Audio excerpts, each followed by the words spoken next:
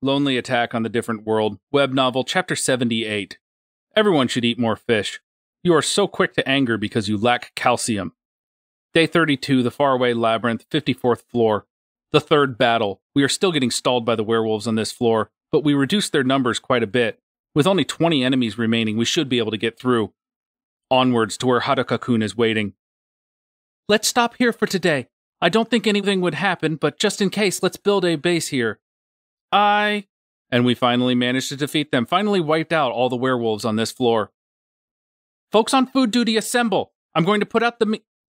Folks on food duty, assemble! I'm going to pull out the meat, so hurry and cut the vegetables. I'm done here, pass me the veggies. It's meat, meat, a meaty meat, meat. No one seemed to be seriously injured, though we had many lightly wounded people. We are already roasting HP mushrooms, so it shouldn't be a problem. We are hungry and tired. This time we made a great number of maneuvers, breaking through the pack of werewolves, splitting and hitting them from the sides, and then annihilating the encircled enemies. So it is only natural that everyone would be tired after running around so much. But even so, we still managed to defeat all of them. Finally, at last, we will be able to move forward.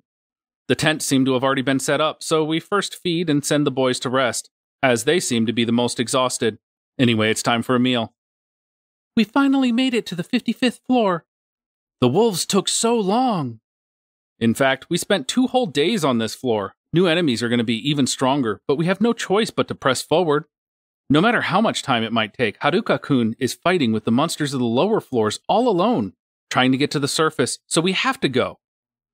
Shimazaki san and the others already went over level 90. The speed of their leveling is way above everyone else, which means that Haruka kun is still fighting, all alone, trying to get to the surface.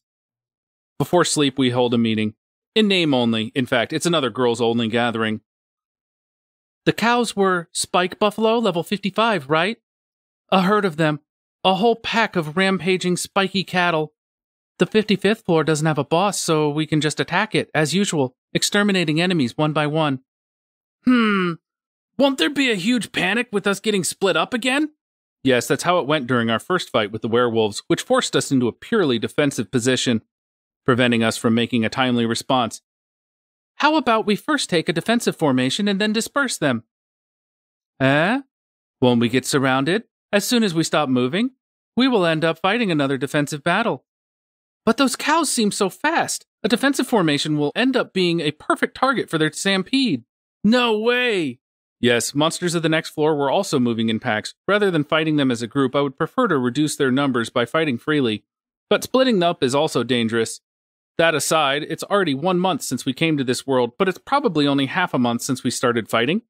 Everyone grew accustomed to combat and began to understand strategy. By the way, the boys, who barely say a thing during our meetings, act with a perfect understanding of tactics when battle starts. But during the planning phase, they do nothing. Odakun's group is good at reading the flow of battle, so they are incredible at intercepting and countering enemies. But during discussions, they just blend with the air.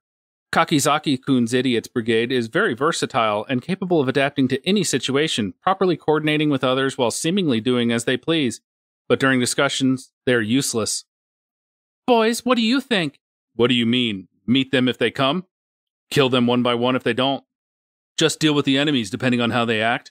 What happens, happens their ability to plan ahead. Both groups have quick wits and adaptability, but they are leaving the lot to chance.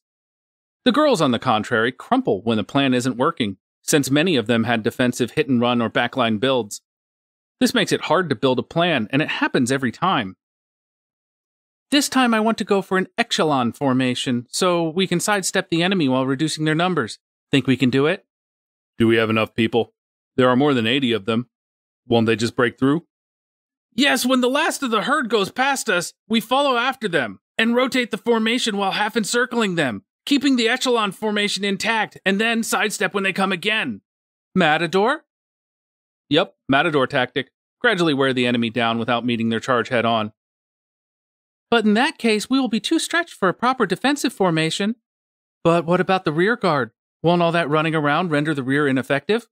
Things got a bit too bloodthirsty to call it a girl gathering, but even so, it is the best way for us, the girls, to build a strategy. Meanwhile, the boys couldn't wait for us to finish faster. Haruka kun risked his life to save the lives of everyone present here, so I will do the same, and protect every single one of them. There is no point to this unless we can all make it out of here alive and well. Otherwise, everyone would have already charged at the enemies. This is still only the 54th floor. Haruka kun is way further down.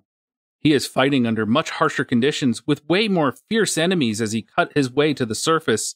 In fact, if a pack of level 80 or 90 enemies jumped at us right now, we would be instantly annihilated. Yet he keeps fighting on even lower levels, all alone. To be honest, I want to rush to his side right away, but I'm still way too weak. I won't make it. So we just have to press on to welcome him back, at least one floor earlier, all together.